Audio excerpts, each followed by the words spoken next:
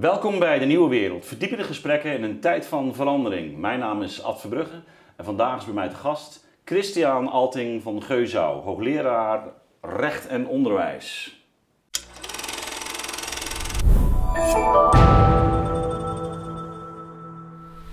Christian, welkom dat je weer in Leiden bent, want je zit in Oostenrijk. Ja, klopt. Ook Ja. rector. Ja, ook rector van eh, de Katholische ITI, of Ja. ITI Catholic University. Dat is een internationale universiteit in Oostenrijk waar ik al 18 jaar aan verbonden ben. Ja, wij eh, eh, spraken elkaar eh, een paar weken geleden en eh, toen gaf jij ook al aan dat onder- onderwijs een bijzondere plaats inneemt in, in jouw hart. Absoluut. Dat komt goed uit, want ik ben zelf ook een, een zeer toegewijde leraar, zullen we het zo maar noemen. En ehm, tevens voorzitter van de vereniging Beter Onderwijs Nederland. En ik maak van de gelegenheid meteen maar gebruik om de kijker even op de hoogte te stellen van het feit dat wij 21 mei op eh, de IVA te Driebergen weer ons jaarlijks symposium hebben, waarin het thema van de vereniging dit jaar is de kunst van het leren.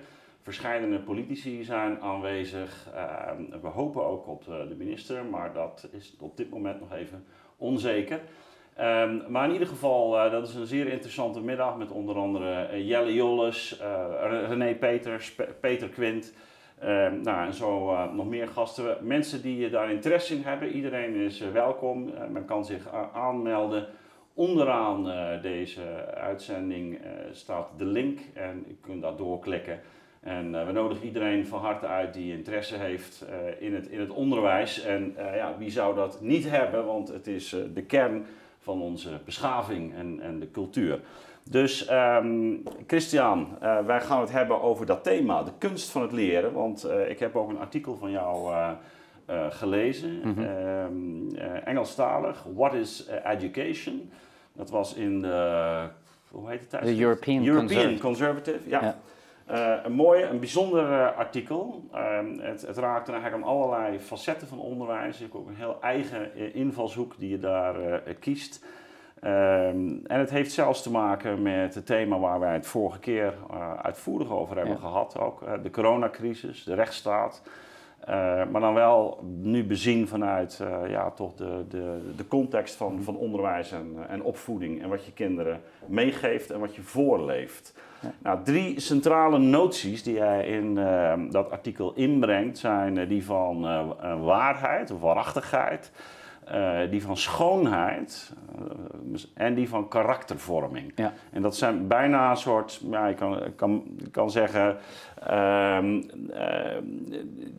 condities waarbinnen ook die, die, die vorming dient, ook de intellectuele vorming Ja. dient plaats te vinden.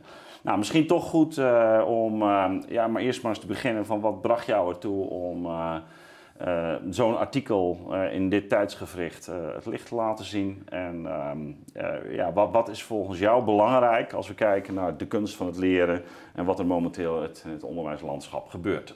Ja. Nou, de aanleiding voor het artikel was interessant, want de aanleiding was eigenlijk het 25-jarig bestaan van de universiteit die ik leid. En wij eh, geven een boekje uit over 25 jaar van eh, ITI Catholic University. En daar werd ik gevraagd als rector ook een, een soort inleidend stuk te schrijven. En toen ben ik eens een middag gaan zitten en dacht ik, ja, waarover ga ik eigenlijk schrijven als een onderwijsinstelling eh, zich presenteert, eh 25 jaar viert.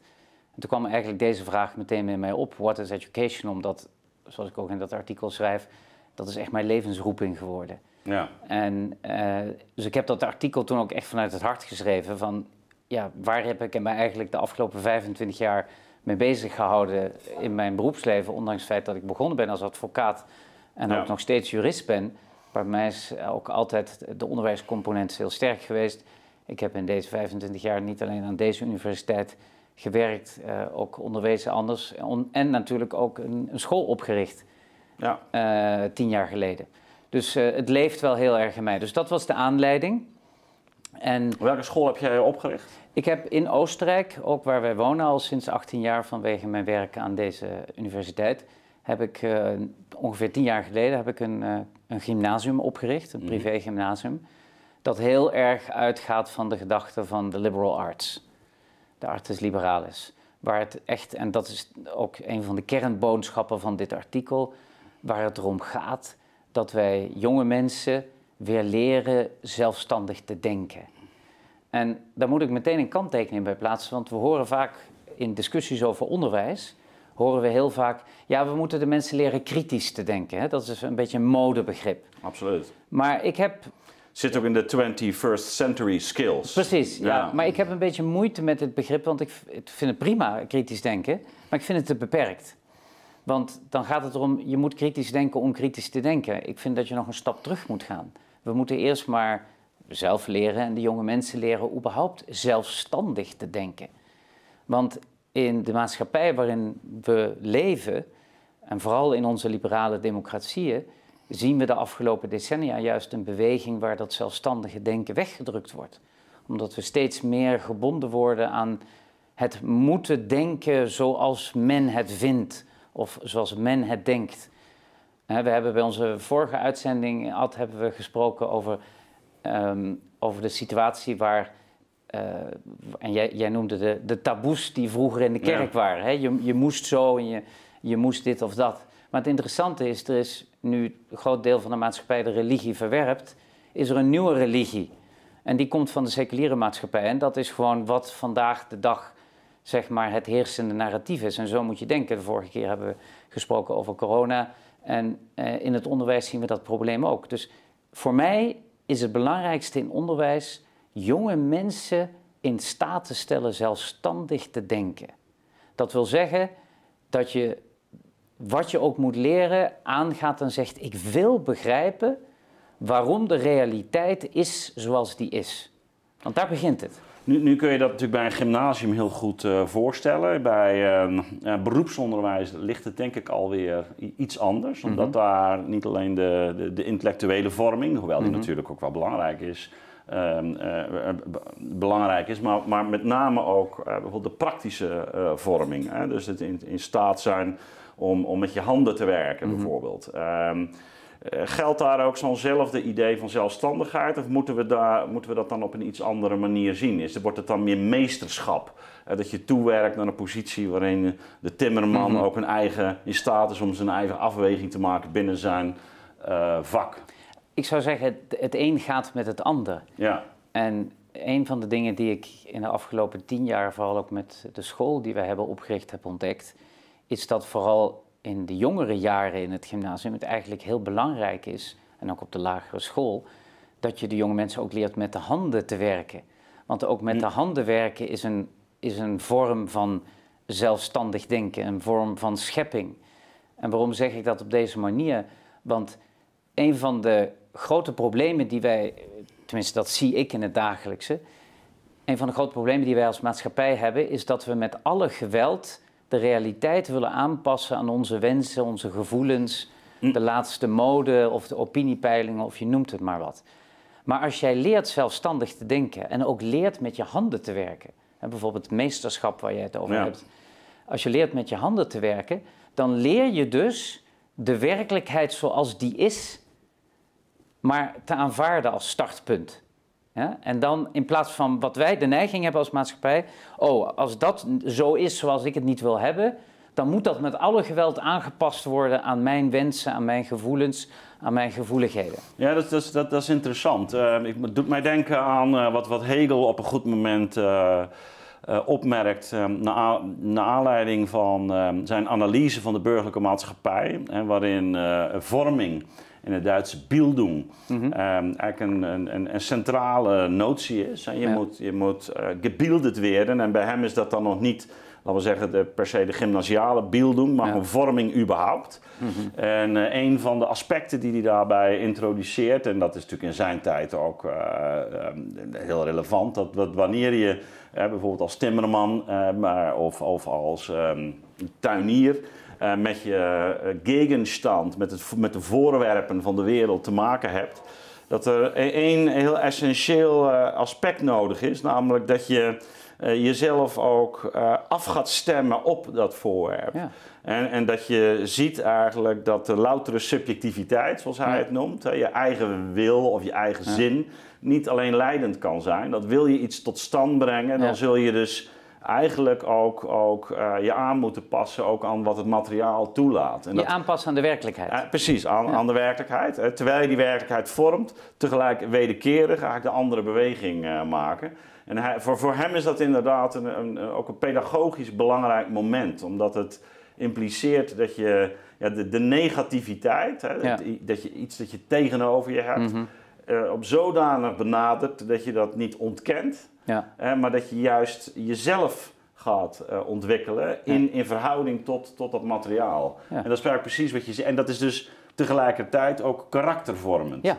En dat komt bij jou ook uh, in een van die doelen tevoorschijn, dat is mhm. karaktervorming. En, en dat kun je natuurlijk breder trekken, want dat geldt ook voor een, um, een, um, een zin Latijn. Die daar, of een zin Grieks, of een. Of een, een, gedachte van een, mm -hmm. van een denker. Dat zijn, zijn eigenlijk allemaal uh, ja, voorwerpen die, die vragen om jouw aandacht. Ja. En, en waar je op een bepaalde manier naar moet gaan schikken. Ja, en ze vragen ook om een aandacht die open is. Dat wil zeggen, een aandacht die er niet op gericht is. Hoe kan ik zo snel mogelijk dit aanpassen ja. aan zoals ik het zie of ik het wil? Maar allereerst ga ik maar eens in alle rust kijken hoe het is. En dat vraagt natuurlijk van ons geduld, want we zijn als mensen natuurlijk vaak heel ongeduldig. Maar het vraagt ook geduld en ik zou ook zeggen de bescheidenheid. En dat is bijvoorbeeld ook in de hele, om, hele onze omgang met de natuur. We, we, leven in een tijd waar er veel discussie is over allerlei aspecten van de natuur. Het gaat over het milieu, het gaat over klimaatverandering, maar ook over de menselijke natuur, hoe we daarmee omgaan. Ja. En bijvoorbeeld de vele discussies, het is een gevoelig onderwerp, maar over het man zijn of het vrouw zijn. Ja? Daar is, daar is zo'n sterke neiging door onze wetenschappelijke, uh, ja, onze wetenschappelijke ontwikkeling als een maatschappij, alles wat we kunnen is er zo snel die neiging te zeggen: ja, dat bevalt me zo niet, dat, dat zint me zo niet. Ik voel dat anders. Maar wat, wat een, een goede vorming, en ik, en ik denk dat dat de kern zou moeten zijn van iedere vorming, of het nou beroepsonderwijs is, mm. of een gymnasium of een school. Ik denk dat de kern moet zijn dat we eerst maar als, als mensen die stap zetten, iets waar te nemen zoals het is. En in alle rust dat waar te nemen. En een goede leraar in een school of een goede hoogleraar op een universiteit, en dat is een andere gedachte die ik in dat artikel breng, doet eigenlijk in eerste instantie niets anders dan deze jonge mensen in staat te stellen dat te zien. Of hmm. ook oudere mensen, ja, überhaupt mensen in staat te stellen dat te zien. Ze de mogelijkheid te geven om die stap te zetten om dat te gaan zien. Ja, ja dat is wel mooi. Ik uh, ben zelf gewend ook om met uh, studenten uh, tekst te lezen. Ja, dat doe ik ook. En ja. uh, sterker nog, in mijn eerstejaarscollege werk ik ook toe. Nou, op een goed, goed moment gaan we gewoon een aantal klassieke teksten lezen. Um, waaronder die van, van, van, Hegel bijvoorbeeld, of Marx, of Heidegger, of, of Hobbes. echt klassieke grote teksten.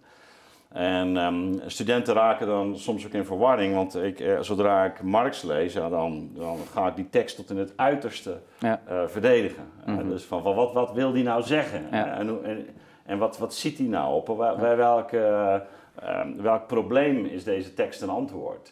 en en um, nou, vervolgens ga ik weer over naar een andere denker. Dan neem ik er een andere positie in en laat ik dat uh, ja, waar, waar, sta je nou zelf? Nee, ik zeg, ja, het begint dus met het, het, het, het onderkennen van dat er iets is wat zo groot is, dat je dat eerst je aandacht geeft. En ik kan als docent kan ik, uh, precies laten zien waar, waar het wat mij betreft fout gaat, uh, maar daar begin ik niet mee. Ja. Ik begin ermee om, om het zo sterk mogelijk te maken. en dan later kan ik daar gewoon kanttekeningen bij gaan plaatsen.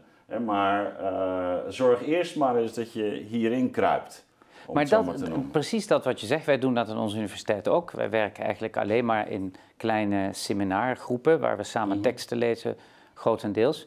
Maar ook op de school uh, die we hebben, daar is het vak literatuur bijvoorbeeld heel belangrijk. En daar gaat het inderdaad, zoals je zegt, niet in eerste instantie erom, wat vind ik nou van deze mhm. tekst? Maar laten we eerst maar eens de stap zetten. Maar wat wil eigenlijk de auteur zeggen? Welke boodschap heeft deze auteur?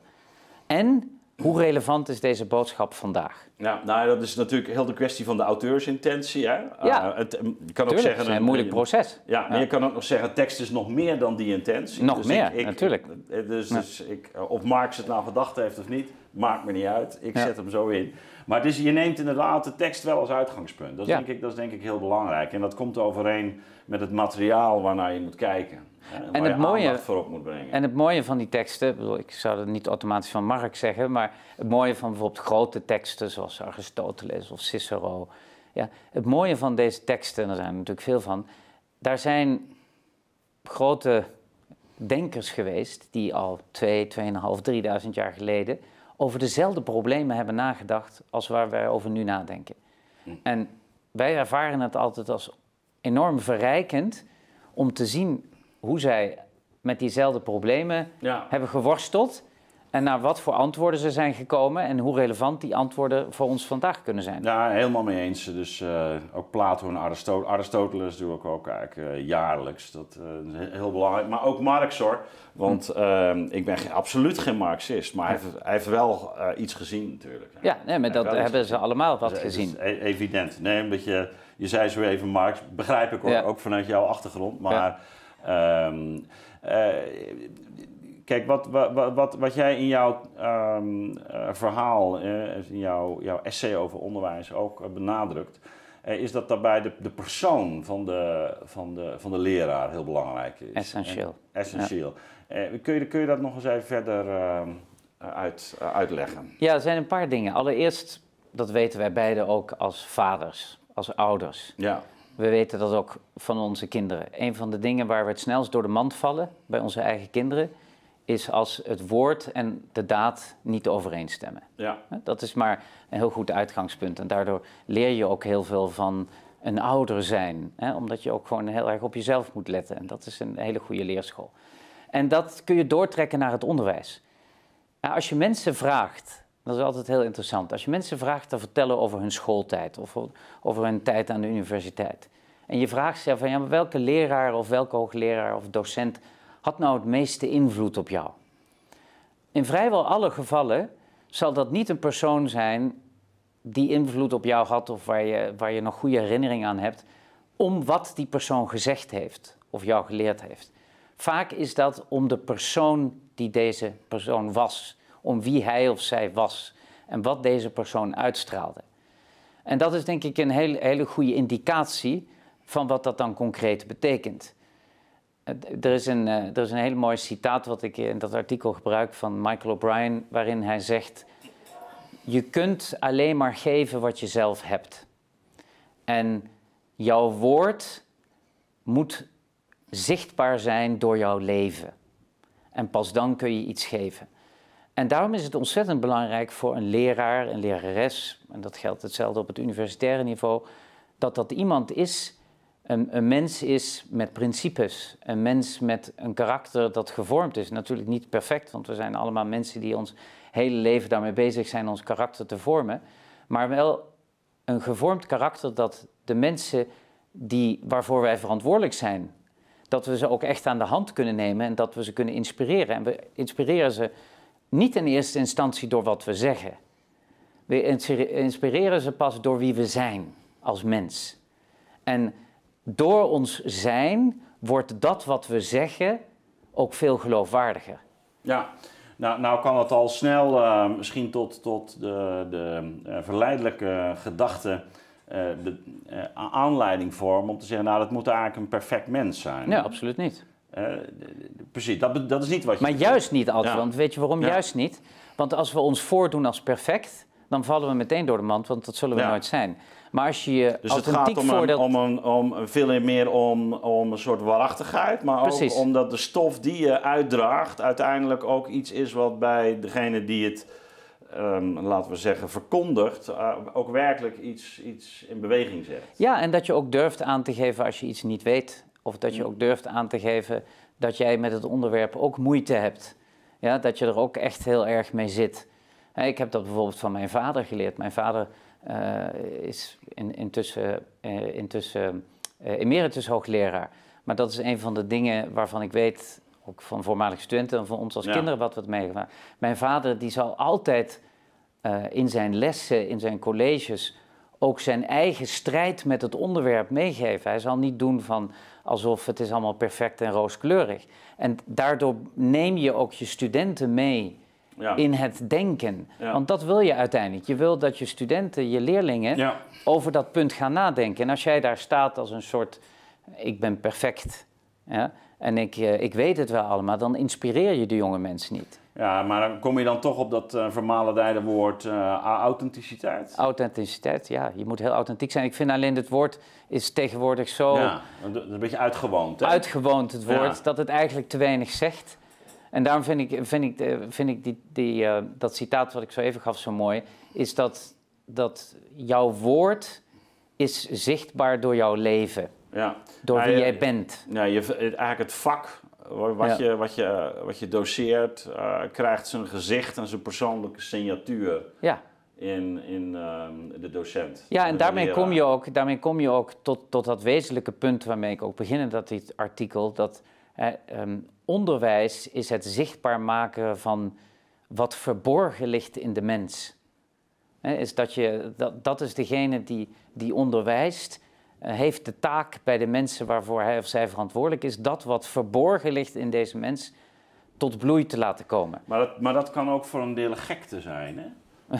Dat kan ook, nee, maar bedoel, de, dus, die, je hebt het over die leraren. Maar ik Ja. heb ook al een paar leraren gehad die toch Ja. een grote indruk op mij hebben gemaakt. Maar die, die ook een bepaald, een bepaald soort gekte eh, hadden. Eh, omdat ze zo gedreven waren, Mhm. ook een soort eenzijdigheid hadden. Maar ook een, een, een hartstocht hè, van liefde Ja. voor, eh, voor hun vak. eh, die hen misschien in andere opzichten weer minder geschikt maakte voor, eh, laten we zeggen, de, de, de grote mensenwereld. En dus soms zitten ook vreemde vogels Natuurlijk, tussen, maar hè? ook leraren en ook hoogleraren zijn mensen en hebben dus hun, hun sterke en hun zwakke Ja. kanten. Dat, dat geldt voor ons allemaal. Maar het is juist, ik denk bijvoorbeeld op dit moment aan mijn twee, eind, mijn twee laatste jaren. Ik heb eerst HAVO gedaan en toen VWO. Mijn Nederlands lerares, dat was overigens hier in Leiden. Aha. Dat, ik weet niet of je nou kent als instituut Vrijbergen. Ja, Ja. zeker. En dat, Ja. dat heeft mijn leven veranderd. Want ik had daar bijvoorbeeld een Nederlands lerares. Ik, ik kwam in de school als helemaal niet zo'n bijzonder goede Mhm. eh, leerling. Maar bijvoorbeeld die Nederlands lerares die ik had, ja, die, die, heeft, die heeft door de manier waarop ze in ons losmaakte een liefde voor de taal Dus en voor de het- die heeft literatuur. het- Die heeft het vuur ontstoken. Ja, die heeft jou. het vuur ontstoken. En ik heb in, Ja. deze, in die school heb ik geleerd te leren. En heb ik geleerd te denken. En, die, en we hadden ook een geschiedenislerares. Nou, die, die heeft bij mij een passie voor de geschiedenis Ja. eh, ont, ont, ontstoken. Ongelooflijk. En dat, en dat waren helemaal geen mensen die, die perfect waren of die een soort heiligen waren. Absoluut niet. Maar het, eh, maar het waren mensen die zichzelf waren en die stonden waar, voor wat zij doseerden. En die niets liever wilden dan ons als jonge mensen aan de hand nemen en inderdaad dat vuur in ons ja. aan te wakkeren. Ja, dat is, dat is grappig. Ik heb eh, een aantal jaren geleden een, een vrij uitvoerig essay geschreven over digitalisering eh, van, van het onderwijs. Waarin ik op, op het einde van het essay eigenlijk dit aspect ook benadruk. Hè. Dus dat dus één ding wat, wat niet gedigitaliseerd kan worden. Nou, er zijn een heleboel dingen die Ja. niet gedigitaliseerd Maar één belangrijk element is precies eh, die, die liefde. Ja. Dus dat, dat iemand eh, gewoon de, de- uit liefde voor zo'n vak de, de, moeite opbrengt om dat toch weer, eh, Ja. misschien doet hij het al 30 jaar, Ja.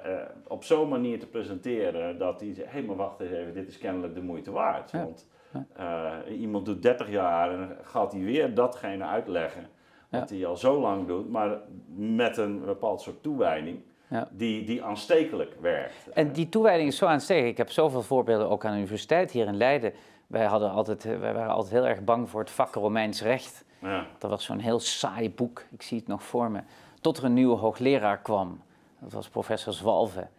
Nou, en die, die heeft in ons eh, enorm, tenminste bij mij, is daardoor van de ene op de andere dag de manier waarop hij het presenteerde. En je zag gewoon de liefde die hij had tot dat vak. Maar ook weer die, die echte oprechte wens om ons ook daarvoor te winnen. Ja. En, eh, en hij was heel authentiek. Ja, hij was heel authentiek op zijn manier. Maar daardoor heeft hij wel bij ons dat die, die, die, dit enorme grote interesse voor het vak gewekt. Ja, nou dat is de, dat is de kunst van het leren. Ja. Hè? Dus, Ja. eh, Die, die dus te maken heeft ook eigenlijk met levenskunst op Ja. een bepaalde manier. Maar dan in de zin zoals we het net eh, uitleggen. Ehm, een, een ander aspect wat jij benadrukt eh, is ehm, schoonheid. Ja. Esthetiek, ja. Ja, ik, ik, Dat is, gaat me heel erg aan het hart.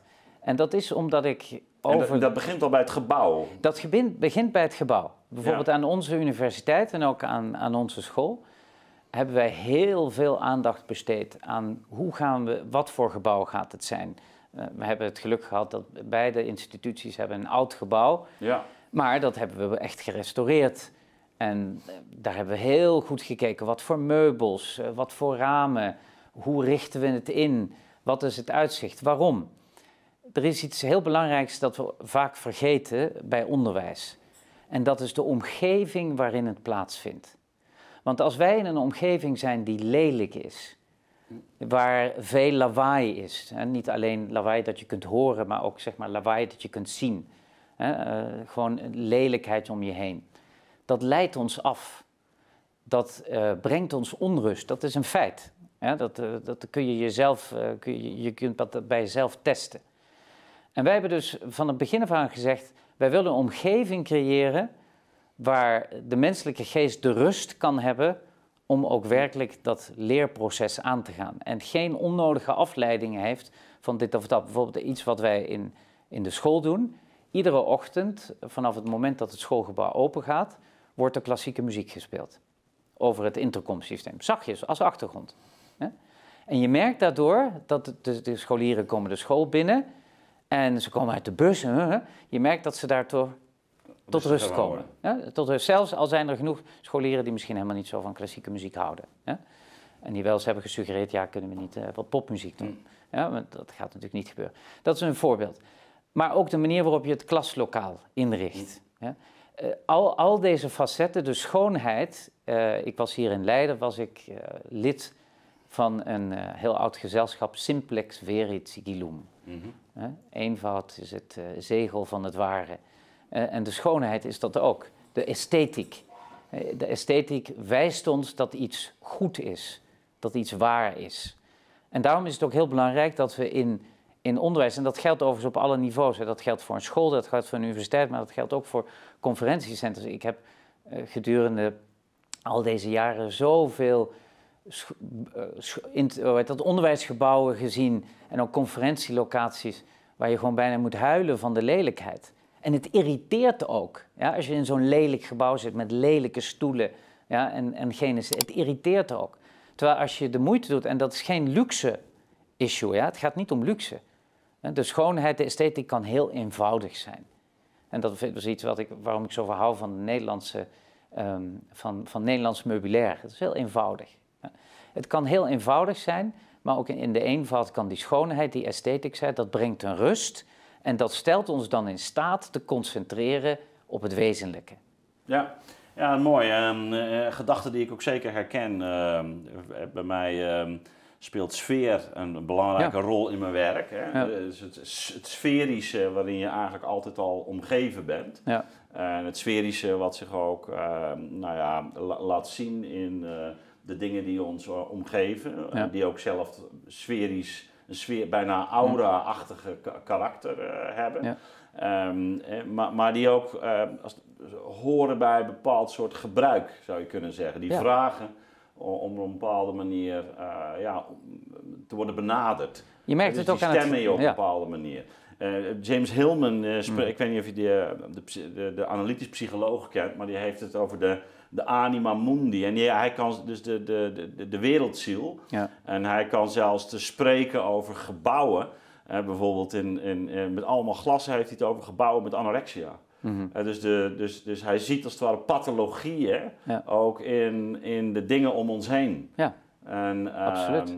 Dus dat is een, eh, ja... Je merkt het ook aan het gedrag hè, van, van mensen in onderwijsinstituties. Als het een onderwijsinstitutie is met een mooi gebouw waar heel duidelijk aan de esthetiek wordt gewerkt in alle aspecten, dan gedragen de mensen zich ook anders. Ja. Ze passen zich daaraan ook aan. Ja, en dat is ook, hangt ook weer samen met die gebruiken. Van hoe ga Ja. je ermee om? Is het een troep op de vloer? Of is het rommel? Is het, eh, wordt het verwaarloosd? Of Ja. wordt het onderhouden? Precies. Eh, Ja. eh, dus dat, dat, dat dwingt in zekere zin ook ehm, eh, mensen al in een bepaalde richting. Ja, Of wat het, wij vroeger. brengt mensen in bepaalde Wat richting. wij thuis altijd leerden is dat je geen innerlijke orde kunt hebben zonder uiterlijke orde. Ja, En je kunt, je kunt niet goed nadenken als het om je heen een chaos is of lelijk is of veel lawaai is. Ja. Dan kun je gewoon niet denken. Ja. Nee, ik heb daar zelf ook eh, last van. Ik, eh, ik, Hm. ik ben ook het liefst in een omgeving die, eh, die, ik, die ik mooi vind. Dus Ja. nou, we zitten hier ook goed hoor. We zitten heel goed. Ja, vooral dat, omdat dat, het- dacht- ik ook. absoluut. Maar inderdaad een onderschatte factor in heel veel heel onderschat. En zo kun je natuurlijk ook de, de, de schoonheid van het voorwerp, wat je bestudeert, laten zien. Precies. Of wat gemaakt wordt, of wat je doet met elkaar. Ja. De, de schoonheid van taal, of de, de schoonheid van eh, het, ja, het, het, het meesterstuk wat je, wat je Het meesterstuk. En daarom overigens, dat, nog even om dat erin te brengen, daarom is die hele digitalisering van het Ja. onderwijs, vind ik zo'n ramp. Ja, natuurlijk, we moeten allemaal leren met computers omgaan en internet, eh, doen, dat is allemaal prima. Dat, eh, dat leren we allemaal bij informatiek. Maar deze extreme digitalisering van het onderwijs, die we natuurlijk ook in de COVID-tijd hebben gezien, is rampzalig. Want je daardoor de jonge mensen helemaal afsnijdt. Allereerst natuurlijk van het hele sociale aspect van, Ja. eh, van, van het leerproces, dat altijd een gemeenschapsproces is. Maar je snijdt ze ook af van dit aspect van de schoonheid en de esthetiek. Stel je voor, je, je hebt bijvoorbeeld heel veel situaties gehad waar dan in deze tijd scholieren in hun pyjama voor de camera verschenen. Ja. Nou, en, Ja, en dan of meestal in hun bed zaten. uit? En- of met de camera uit. Dat, dat wekt, je kunt, dat is een totale illusie waar we ook echt los van moeten komen. Een totale illusie om te denken dat digitaal onderwijs het menselijke, het samen zijn in een klaslokaal of in een collegezaal, dat dat, eh, dat, dat, kan, eh, dat kan verplaatsen. Dat is absoluut uitgesloten. Ja. En ik, ik maak Nou me ja, daar ook echt is- zorgen om. Nee, ab- absoluut. En dat, dat deel ik ook met je. Ik denk dat, ehm, ja, wat we dan in de filosofie die subjectivering noemen, maar ook Ja. dat, dat opgeslokt raken in, in je eigen belevingswereld. Ja. In een tijd van onbehagen spreek ik zelf over belevingssolipsisme. Dus het- nou, ik, eh, als, als iets mij opgevallen is, eh, ook eh, de afgelopen jaren, is maar die druk van dat belevingssolipsisme. Inderdaad, gewoon thuis achter je scherm zitten, Ja. eigenlijk losgekomen, afgeschermd ook van, van een, een tastbare wereld, eh, Ja. waarin je je op een bepaalde manier ook naar moet voegen.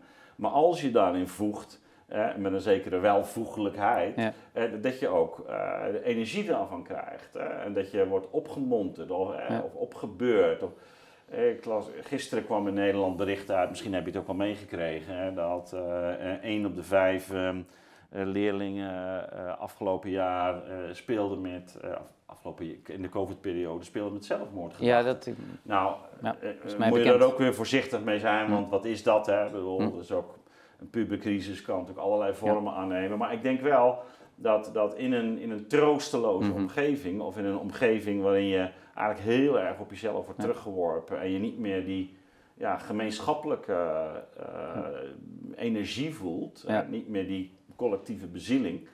eh, en, en niet meer gevoed wordt door de aanblik van mooie dingen en aansprekende mensen. ja. Eh, dat, dat je ook wel weg kunt zinken. Nee, het is een ontmenselijking. Ja. Wat, wat daar is gebeurd is een ontmenselijking. Ik heb het natuurlijk zelf ook gezien. Ja. Eh, we hebben het er de vorige keer ook over gehad. We hebben de eerste, tijdens de eerste lockdown van maart tot mei Ja. 2020 waren we natuurlijk allemaal in de lockdown. Maar wat ik zelfs met deze relatief kleine privé-inrichtingen, zowel de school als de universiteit, heb gezien, heeft mij ertoe geleid om aan het einde van mei 2020 te zeggen: onder mijn verantwoordelijkheid kan ik dat niet Ja. meer met mijn geweten eh, verenigen. Ik ga niet meer meedoen als, als verantwoordelijke voor deze instituties met dit online onderwijs als het niet eh, strikt noodzakelijk is. Want het is ongelooflijk wat dat met jonge me- mensen heeft gedaan, want het is een ontmenselijking. Ja. En natuurlijk, er zijn altijd situaties waarin het gerechtvaardigd is voor een korte tijd. Eh, iemand is ziek, in quarantaine, natuurlijk. Ja? Maar eh, je kunt het de jonge mensen, vooral de jonge mensen, niet aandoen. Maar het, het geldt net zo voor ons eh, volwassenen.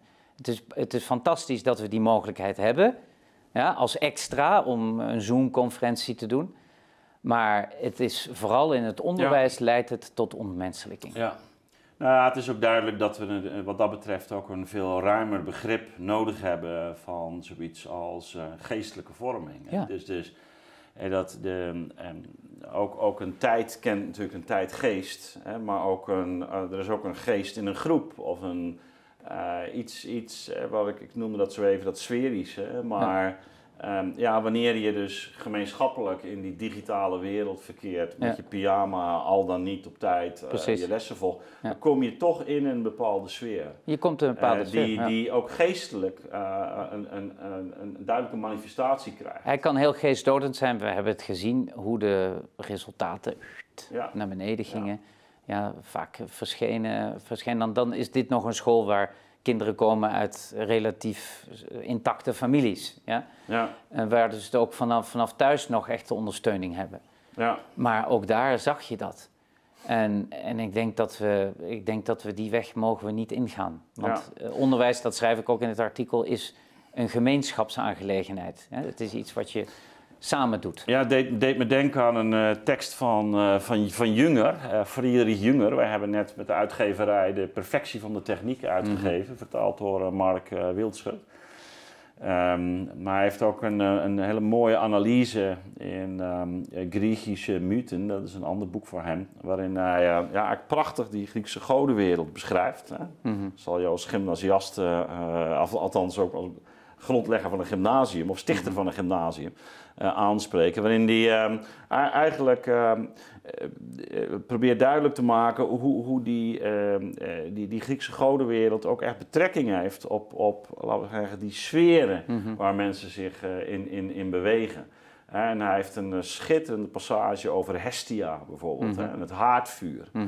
En dat dat, dat dat de warmte is die, eh, die een, een familie bijeenhoudt, hè, de Ja. Grieken. En dat dat, dat daar, zodat mensen welkom ge- geheten worden. Dat, ehm, en een huis dat kaal en kil is, daar is Hestia Ja. eh, afwezig. Mhm, hè. mhm. Daar wordt het, het- de haard niet onderhouden.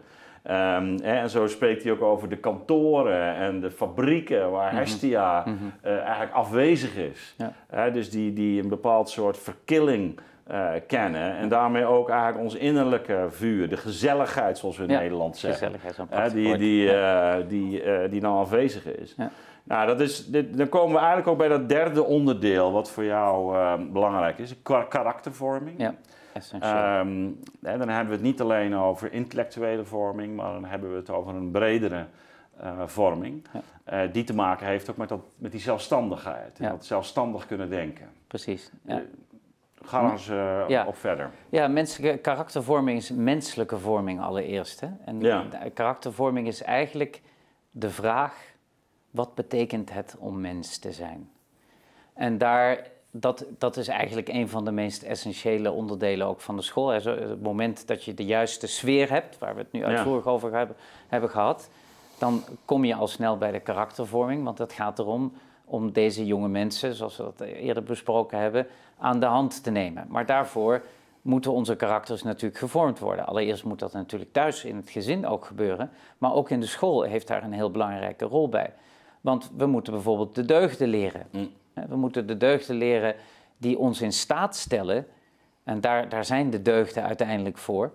De deugden zijn uiteindelijk eh, die, eh, zijn, zijn zeg maar die, ja, hoe moet ik dat zeggen, instrumenten die ons in staat stellen ook in moeilijke situaties het juiste te doen.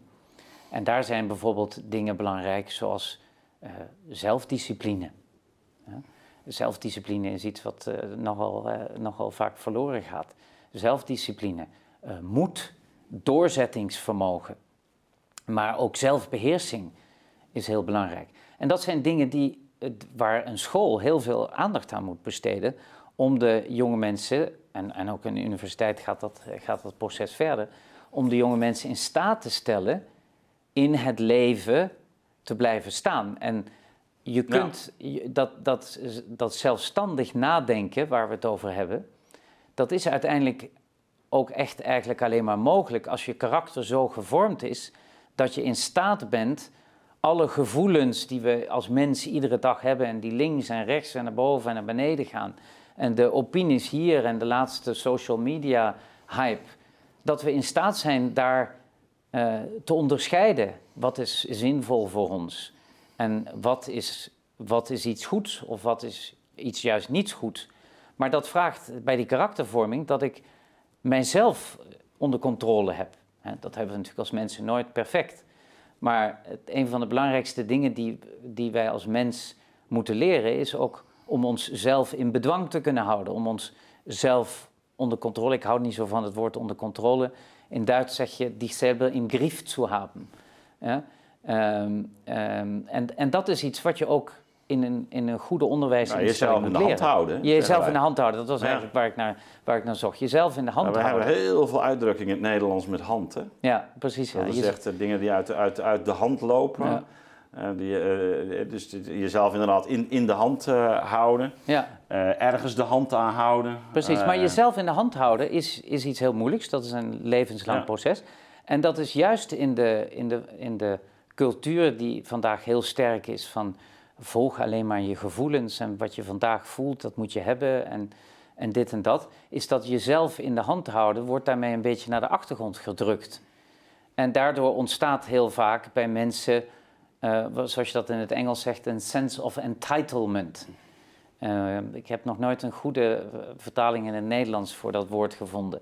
Maar dat is dat je meent op van alles recht te hebben. Ja. En als je dat niet krijgt, dan ben je meteen een slachtoffer. En dat hele denken komt er uiteindelijk daaruit voort, omdat ik mezelf niet in de hand heb. En dat jezelf in de hand hebben, dat moet ik leren, vooral in mijn jonge jaren. En dan gaat het door, door de rest van mijn leven. Ja, nou ja, dat sluit weer aan bij waar we begonnen natuurlijk. Hè? Mhm. Dus dat je, hè, wanneer je met materiaal leert omgaan, Ja. je al eh, weet, nou ja, als je het dan over jezelf in de hand houdt, betekent ook hè, eh, eh, rustig aan blijven doen, niet Precies. boos worden, Ja. hè, blijven kijken. Ja. Eh, niet, niet, niet te veel kracht gaan uitoefenen. Precies, want je Eh, moet je aan die wetten van de natuur houden. En dat is, dan zie je dus ook inderdaad hoe die virtualisering waar wij Ja. in zitten, Ja. ehm, eh, waarin we ook steeds gemakkelijker natuurlijk van alles kunnen, naar, naar de hand kunnen zetten. Ja. Want dat is... Het is een illusie overigens. Ja. We denken dat ja, we het naar de we- hand we, kunnen we denken dat het, maar we zijn Ja. natuurlijk op allerlei manieren aangewezen op die omgeving. Maar die, die suggestie wordt gewekt. Ja. Hè? Dat is de, we- dus we worden eigenlijk op een bepaalde manier juist, we raken onthand, soms ook letterlijk. Hè? Ja, en- Mensen die, eh, eh, Ja. maar, maar, die, maar die wel de, de, de indruk hebben dat ze op, op allerlei manieren eigenlijk, nou ja, eh, kunnen bepalen wat, wat, zelf kunnen bepalen wat zij willen. Ja. En, en ehm, dat is natuurlijk een van de, de verleidelijke aspecten ook van die digitalisering. Ja, en, en überhaupt van onze voortschrijdende maatschappij. Het is Ja. natuurlijk fantastisch, alle ontwikkelingen die we hebben in de wetenschap en in de techniek. Maar een van de analyses bijvoorbeeld die ik heb eh, voor wanneer je zoekt naar een antwoord, waarom hebben wij meegemaakt de afgelopen tweeënhalf jaar Ja, met de hele coronacrisis wat we hebben meegemaakt. En een van mijn analyses is omdat we als mensheid zo arrogant zijn geworden dat we dachten dat we alles naar onze hand konden zetten ja. met onze techniek en wetenschap en alles. En dan komt er opeens een klein virusje voorbij en we raken in totale paniek. Omdat we opeens het leven en de dood toch niet in de hand hebben. En de reageer, hè, dan komen we tot overreactie. Ja. En, maar dat is ook weer, weer Ja, terug te voeren. Ja, bijna zo. Dus, dus dat, dat je eigenlijk niet eh, accepteert wat je, wat je niet zelf hebt gemaakt of niet Ja. zelf hebt gedaan. Of niet, Precies. Hè, dus ik heb, ik heb hier aan deze tafel ook wel eens die discussie gevoerd dat, dat op een gegeven moment de, eh, het debat meer ging over gevaccineerd, ongevaccineerd dan, dan over i- immuniteit. Terwijl Ja. de, de hele vraag is natuurlijk, eh, wat is de status van iemand, iemands immuniteit? Maar dat, dat, dat verdween eigenlijk uit zicht. Ja, Hè, omdat het erover, ja kijk, eh, vaccineren of niet vaccineren, dat is wat we zelf doen. ja, Immuniteit natuurlijk op een bepaalde manier Ja. ook, hè? maar dat is alleen veel ehm, minder goed beheersbaar. Ja. Heeft, heeft veel meer te maken met levensstijl, met, met dat wat een, een, een lang traject eh, eh, vergt. Hè, maar maar met, met, met die technologische benadering werd dat eigenlijk het brandpunt van de discussie. ja, omdat we geobsedeerd zijn om alles met onze menselijke maatstaven en onze menselijke mogelijkheden naar onze hand te zetten. En daardoor vergeten dat er een natuurlijke werkelijkheid is, en dat, dat, is, dat geldt ook voor een virus, Ja. waar wij niks aan kunnen doen. Ja. Die is er gewoon. Of waar we, waar we, op ons, waar we ons op af moeten stemmen, waar Precies. we op in moeten spelen, waar we in een wederkerigheid eh eh, Precies. ons toe dienen Ja. te verhouden. Ehm, Ja, dat is wel een belangrijk punt. Hè? Want je ziet dus twee dingen. Is e- enerzijds uh, de, de, digitalisering en een soort uh, te techno-obsessie... waarin we ja. via techniek eigenlijk de wereld naar onze hand uh, willen zetten.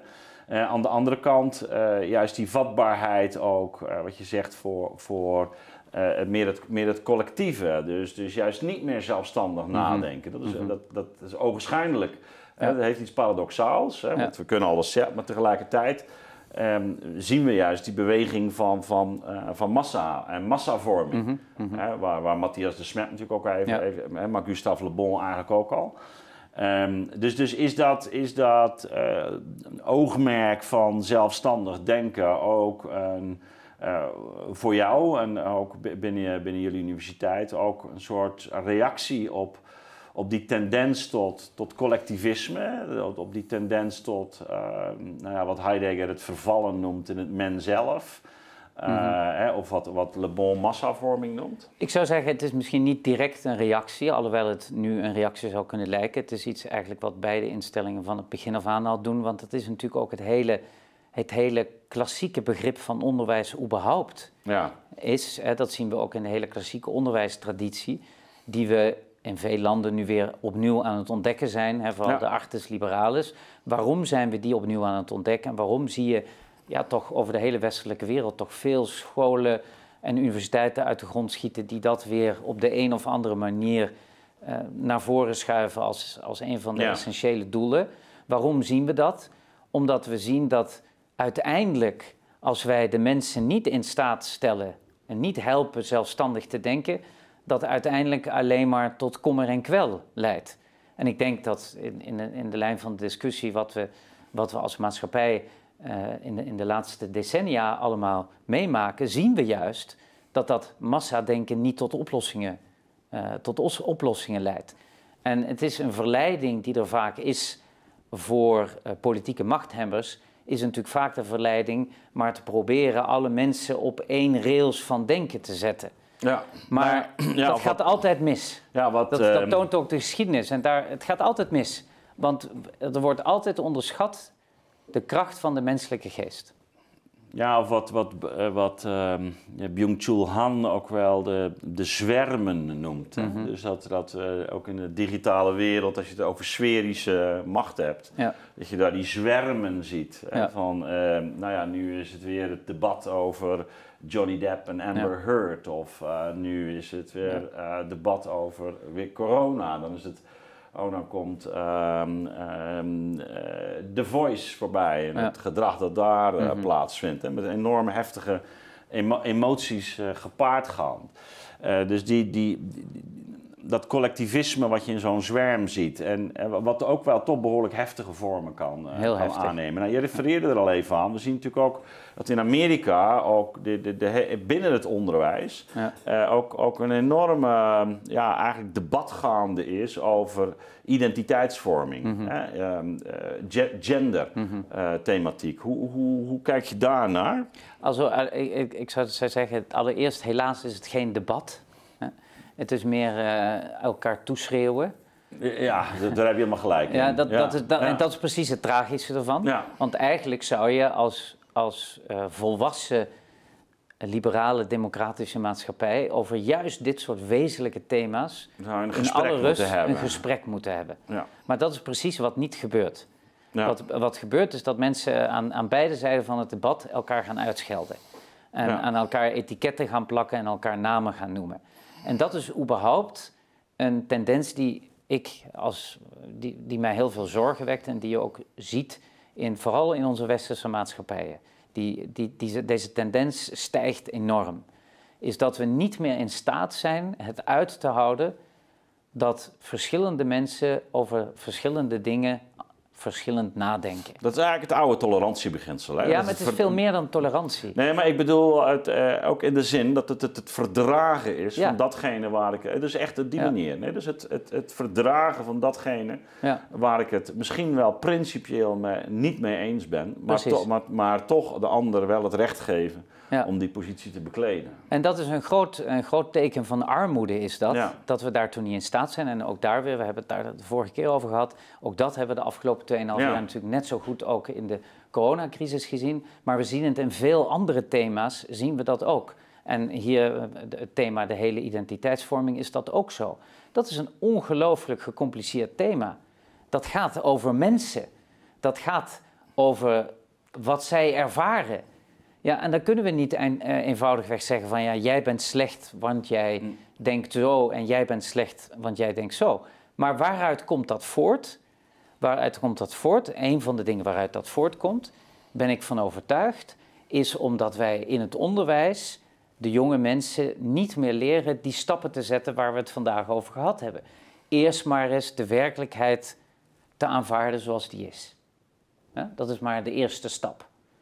En dan En te dat zeggen, geldt, en dat geldt wat, wat jou betreft dan eigenlijk ook voor, voor je gender. Absoluut, dat, dat is de eerste stap.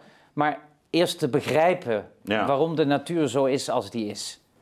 En Ja. het is absoluut te respecteren en te begrijpen dat mensen andere gevoelens hebben. Dat is helemaal, dat is helemaal het thema niet hier. Maar ik denk dat mensen heel erg geholpen zouden kunnen worden. Bij dit, maar ook bij vele andere debatten. Maar eerst in staat te stellen, oké, dit, dit is mijn situatie waarin ik mij bevind. Dat is de werkelijkheid waarin ik mij bevind. De natuurlijke werkelijkheid. En dan, als je dat, die eerste stap hebt gezet, dan is de volgende stap, en dat is wat ik vind dat, dat, hè, dat- waar het onderwijs zo belangrijk is, dan is de volgende stap te zien, oké, hoe ga ik met deze realiteit om? Maar, maar hier zie je natuurlijk ook de, de problematiek van maakbaarheid. Dat, Mhm. dat wordt gezegd dat, dat gender zelf een sociale constructie is, waar Mhm. geen eh, eigenlijk eh, objectieve grondslag voor zou bestaan. Ja, maar dat, eh, allereerst, ik denk, we moeten daar, dat een discussie die we over moeten laten aan mensen die, die op dit vak natuurlijk veel meer weten dan ik zou weten. Maar als eenvoudige, ehm, als eenvoudige mens stel ik maar vast dat wij als mensen allemaal worden geboren zoals we zijn. Nou, Ja. Gewoon vanaf de natuur uit. Ja, En ik denk dat het niemand schade zal toebrengen om maar vanuit die situatie uit te gaan. En te zeggen, zo ben ik geboren. En om, ja, en om het, het hierbij... gesla- geslachtelijke onderscheid eh, bestaat ook in, de, in, in het dierenrijk, zelfs in het plantenrijk, maar dat bes- bestaat al de nodige miljoenen jaren. Ja, dat bestaat al de nodige miljoenen jaren. En het hele punt voor mij, om, om dit terug te brengen op het thema van onderwijs... het hele punt van het leerproces is, als, als mens die, die groeit... dat ik eerst maar leer die werkelijkheid waar te nemen. En die werkelijkheid te aanvaarden. En dan, vanaf daar, kan ik dan de stappen gaan nemen en zeggen van... ja, maar ik heb dit probleem daarmee met die werkelijkheid. En Maar ik ja, heb dat hier is- dat ik- probleem ja, dat- maar- maar maar ik dat is alles deel Ja. van dat zelfstandige denken. Dat ik in staat ben in alle geduld en rust dat proces door te gaan. Maar dat moet je wel leren, Ja. dat te kunnen. Ja, en ik denk dat wel een van de, de, de, de, cultureel grote thema's op dit moment natuurlijk precies is dat, laten we zeggen, de traditionele invulling van wat het inhoudt om een man dan wel een vrouw te zijn, of Mhm. Eigenlijk beide onder druk staan, waarmee de, eigenlijk ook voor jonge mensen het ook steeds diffuser is Ja. geworden. Mhm. Ehm, dat het op een bepaalde manier heel erg ook is veruiterlijkt. Het Mhm. is alleen nog maar het plaatje, zeg maar. Hè? Dus hoe ik me manifesteer. Mhm. Ehm, ook in de lijn van virtualisering en Ja. digitalisering. Ehm, en, en dat eigenlijk de, de, de, de- het hele vraagstuk daarmee ook, ook prangender wordt. Van goh, wat, wat is eigenlijk de culturele invulling van het feit dat je geslachtelijk eh, gedifferentieerd bent? Ik bedoel, dat is toch de bredere problematiek die, die zichtbaar wordt. Wat, is het, wat, wat houdt het in om een man te zijn? Of wat Mhm. houdt het in om een vrouw te zijn? Ja, wie ben jij om dat te gaan bepalen? Hè? Wordt Ja, dat wordt dan dat- gezegd. Ja. Hè, want dat, daar zie je diezelfde subjectivering. Ja. En ik wil geen van beide zijn. Ik, dat is bij uitstek wat natuurlijk een puber ook kan zeggen. Mhm, mhm. Eh, dus ik denk ook dat, het, dat die beweging van subjectivering en Mhm. maakbaarheid... dat die ja, eigenlijk ook nu langzaam eh, ja, ons, onze vormingsinstellingen binnen, binnendringt. Omdat het, dat, dat, dat de culturele beweging zelf ook die, die, eh, die kant op gaat. Ja, en omdat, om- omdat, en dat is denk ik een groot probleem van het onderwijs, het laat zich te snel politiseren. Ja, het is ook een politieke kwestie Het geworden. is een politieke kwestie geworden, wat denk ik heel jammer is. Want ik denk dat je het op, een, op, op, op andere niveaus zou je met deze situatie veel beter veel beter kunnen omgaan? Waarom moet het zo'n politiek thema worden? Dat is toch vooral een, een heel individueel thema, het is toch vooral een heel privé thema. En waarom moet je daar deze of die uh, opinie op de mensen, uh, op de jonge mensen in de scholen opdrukken? Dat, is, dat is denk ik een, een probleem dat het politiseert. Wat, wat, wat de grote vraag hier is, is weer om terug te komen. Stellen wij de mensen die door onze onderwijssystemen gaan, stellen wij hen in staat om maar als allereerste stap, en dat is zonder enig oordeel af te geven, ja. als allereerste stap maar te leren waar te nemen wat de werkelijkheid is. De werkelijkheid die van mij onafhankelijkheid, onafhankelijk is. Dus even niet wat ik voel Mhm. of wat ik denk of wat ik vind, maar gewoon wat vind ik voor mij. Hè, Daar is een plant. Ik kan zeggen, ik wil dat die plant geel is. Dan kan ik heel erg gaan roepen en ik kan hem geel gaan schilderen. Maar dan gaat die plant waarschijnlijk dood. Dus allereerst, om het maar, ik, ik zeg het even heel, heel simpel om, gewoon, om dit punt te maken. Allereerst moet ik maar leren te zeggen, oké, daar is die plant. En ik wil maar eens gaan ontdekken waarom die plant groen is, waarom die zo groeit. eh, waaruit deze plant zich voedt. eh, hoe het komt dat de plant daaronder wat, wat, wat eh, dorre delen heeft. Ja. Eerst maar die vragen stellen, wa- waarom is dat eigenlijk zo? En wat wij met, met, met onze maatschappij, die, die zulke enorme, eh, hè, voortschrijdend is onze maatschappij, meteen willen doen, is, ja maar hoe kan ik het aanpassen aan zoals ik het wil? Ja. Maar Ja. die vraag is in eerste instantie niet interessant. ja. Die vraag En is dat, in en dat geldt dus uiteindelijk ook Ja. voor, voor je eigen lichaam, zeg jij. Dat, ne- ja, Ja. Dat, dat, dat, dat- nogmaals, ik zeg dat als leek. Ja? Mhm. Ik zeg dat zonder iemand te veroordelen die, die anders denkt of anders vindt. Maar dat is hoe ik de thematiek aanga. Ik wil maar eerst begrijpen waarom dat zo is. Ja. Voordat ik daar meteen. Ja, nou, we zitten cultureel denk ik ook Ja. in, in dat opzicht echt wel in een hele fundamentele crisis. Ja. Dus het, het, eh, in, in ehm, de, eh, het, het Goede Leven in de Vrije Markt, dat boek Ja. eh, dat ik samen met Mhm. Jelle van Baardewijk en Govert Buijs eh, ook heb geschreven, denk ik wel dat die moderne vrijheidsbegrip eigenlijk ehm, eh, ten opzichte van, van, van vijf assen of dimensies moet worden begrepen. hè. De dimensionaliteit van onze vrijheid. Nou, de, de eerste is die van relaties. Die ze, Van wat betekent mijn vrijheid voor de, voor de, de aard van mijn relaties. En de tweede is die van ehm, eh, natuur. Ja. Dus, dus nou, wat we nu natuurlijk in de hele ecologische crisis eh, tegenkomen. En maar de derde is ook lichaam. Ja. Hè? Dus, dus eh, ja, wat is mijn vrijheid in relatie tot, tot, eh, tot mijn lichaam? Eh, de vierde zijn de instituties, de hele culturele orde waar ik in opgroei. En de vijfde, de vijfde eh, is het eigenlijk de, zin, de zinthematiek. Maar, maar we raken in feite hier aan. Hè? En, Maar ehm, dat is precies, hè, je hebt het over de ecologie. En er is een, prachtig, eh, een, prachtig, eh, een prachtige speech die eh, Paus Benedict XVI in 2011 in het Duitse parlement Ja. heeft gehouden. En daar spreekt hij precies over de ecologie. En hij zegt daar heel juist, zegt hij, we leven in een tijd waarin de ecologie van de natuur ons steeds bewuster wordt. Ja, en we zijn steeds bewuster bezig met het milieu en met het klimaat. En dat is een hele goede ontwikkeling. Maar hij zegt, er is ook een ecologie van de mens. Ook wij als mens hebben een ecologie. Absoluut. En Ja. net zo goed als wij in, in de discussies die er op dit moment zijn over milieu en klimaatverandering, ja, heel erg gaan kijken van, ja, maar hoe functioneert nou de natuur? En hoe functioneert nou het klimaat? En wat voor invloed hebben wij daarop? Ja. En hoe kan die invloed van ons schadelijk zijn? En hoe kunnen we ervoor zorgen dat die schade teruggebracht wordt door ons gedrag aan te passen? Zo moeten we ook kijken naar het menselijke lichaam. Absoluut. Het menselijk lichaam heeft ook een ecologie. Ja? Ja. En dan moeten we eerst maar eens gaan kijken, ja, maar waarom is het menselijk lichaam zoals het is? Waarom ben ik geboren als man of als vrouw? Wat heeft dat voor functie? Wat heeft dat voor betekenis? En, en wat, wat is het aan mijn lichaam dat mij goed doet? Of wat is het wat het schade toebrengt? We zijn toch allemaal heel vaak ook bezig met dieet. En waarom doen we dat? Omdat we ons lichaam waarnemen. Dat er iets is wat je, wat je lichaam niet goed doet. En, en ik denk dat we dat helemaal zijn vergeten. Net zo goed als we de over de ecologie van de Ja, natuur om ons heen spreken, moeten we ook over de ecologie van de mens spreken. In, in die zin past natuurlijk ook moderne pathologieën als anorexia of burn-outs ook, Ja. ook helemaal bij, bij die problematiek van die verwaarlozing. Ja, ik, bedoel, ik heb ooit een, eh, Ehm, met mijn proefschrift droeg de titel, het is later ook als boek uitgekomen, De verwaarlozing van het zijnde. Ja. En dat sluit hier natuurlijk direct op aan. Ja. Dus wat, wat, wat vraagt dat wat is eigenlijk van ons? Precies, dat wat is. Je zegt Ja. het precies juist. De verwaarlozing Wat van het vraagt dat wat is van ons? Ja, En niet in eerste instantie dat wat ik wil dat het is. Ja. Hoe begrijpelijk het ook is, hoe, hoe totaal eh, met empathie eh, dat ook moet worden aangegaan. Maar allereerst is dat die eerste stap dat wat is. ja. Christian, ik dank je voor een eh, wederom eh, inspirerend en eh, een mooi gesprek. En we zullen dat ongetwijfeld in de toekomst nog vaker doen. Dus dank voor je komst. Het was mijn plezier wederzijds. Dankjewel.